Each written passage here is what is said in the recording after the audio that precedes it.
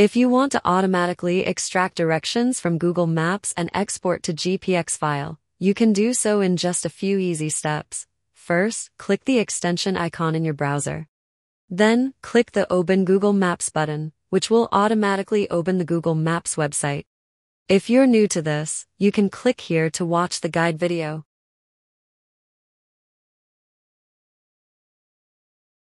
Next, choose your starting point and destination. Additionally, you can add destination or easily switch between different travel modes to find the best option for your trip.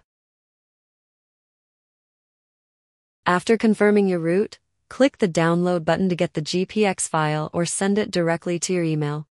These GPX files can then be used seamlessly with SatNav and GPS devices. In just these few simple steps, you can automatically extract directions from Google Maps and export to GPX file, making it convenient and time-saving.